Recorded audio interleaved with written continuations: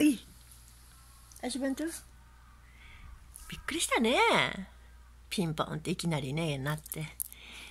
すごいんですよマー君は。ピンポンダッシュダッシュじゃないのピンポンが。ねあれが届いたんですよ足拭きが。ペティの。マー君。びっくりしたよね。いきなり。ピンポン。ってすごいでしょ吠え方が。今日のは結構すごかったね吠え方。いきなりだったから。いつもは前触れがあるんですよね。私が電あのお金の準備とか電話とかで誰か来るなってわかるけど今日は誰も何もなかったから前触れがなかったから前触れがない時はああいう吠え方するんですよ。わわわわわって。怖いでしょ。本当はまだと撮りたかったけど一時。もう待たせると良くないので早くと止めたんですよ。ごめんなさいね。ねマー君ね。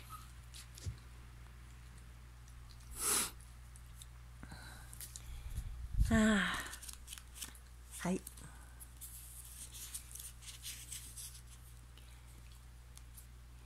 愛と励ましの言葉。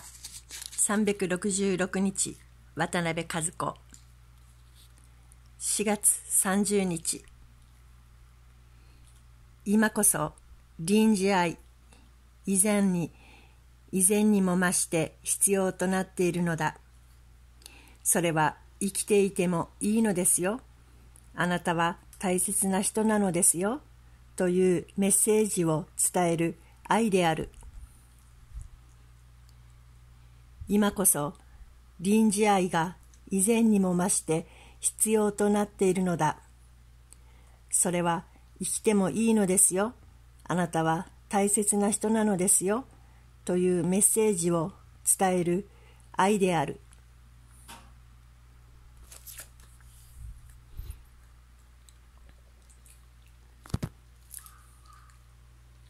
手あれ手ぶれがごめんなさいね。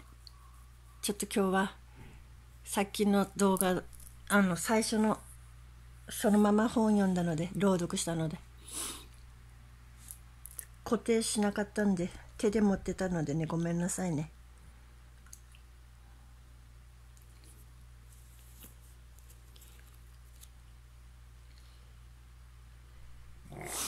あーゲップしたマック聞こえた？皆様。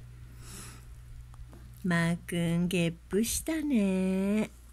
さっき唐揚げくんあげた後まったりしてました。少し何秒何分か。マー君にママをあげるの忘れてて。マー君もなんか唐揚げくん食べて満足したかどうか知らないけどママのこと忘れてたみたいです。食べたね。しっかりね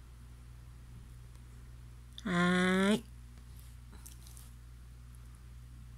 眠たいですか？ねんねしなさいよ。ね。